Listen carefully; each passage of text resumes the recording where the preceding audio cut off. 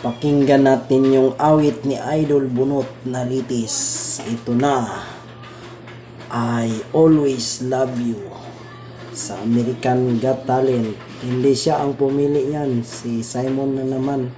Katulad nung kay Marcelito Pumoy noon, no? Hindi siya pumili ng kanta. Kailangan yung judges talaga. Yun kasi narinig natin. Pero kung sila ang pumili, sigurado, panalo yun. Ayun, si Idol Bunot na naman, Abante, no? Pakinggan natin. Ito yung kanta niya. Galing. Okay na okay.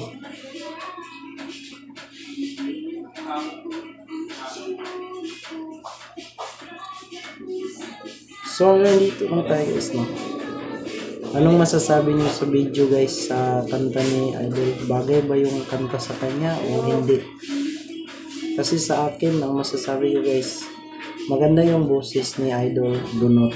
Pero, ah, hindi ano, hindi bagay yung kanta sa kanya kasi pang babae mataas yan, di ba no?